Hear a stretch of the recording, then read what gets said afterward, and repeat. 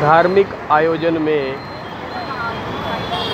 आए हुए भक्तजनों के लिए जो पत्रिकाएँ, ब्रोशर, पर्चे, जो भी धर्म से जुड़ी जानकारी है, वो सब छपवाए जाते हैं और वितरित किए जाते हैं।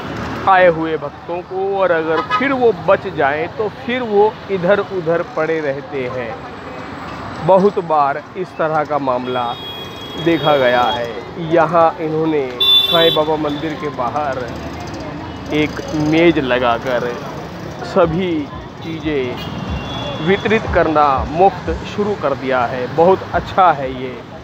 जिनको इसकी ज़रूरत है, उनके काम भी आ जाएगा और वो इधर उधर भी ना होगा। इसी तरह से करना ही चाहिए। समझदारी की बात है ये। यही है सच्चा धर्म।